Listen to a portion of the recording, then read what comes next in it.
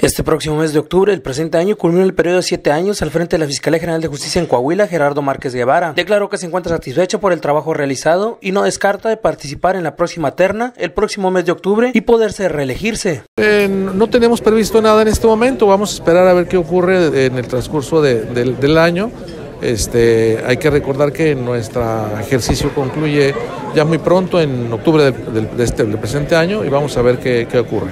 Tomando en cuenta que en este año termina, como lo dice, en el mes de octubre, eh, ¿satisfecho con el trabajo realizado? Bueno, creo que nunca satisfecho, eh, creo que sí son muy buenos los, este, los parámetros en los que hemos transitado. Eh, es evidente la mejoría, pero esto tiene que ver con la coparticipación de todos y cada uno de los que formamos parte de los gabinetes de seguridad. ¿Se postulará para la próxima terna? Eh, no, bueno, habrá que esperar a que se llegue el tiempo, ¿verdad? Noticieros Rancherita del Aire, siempre líderes.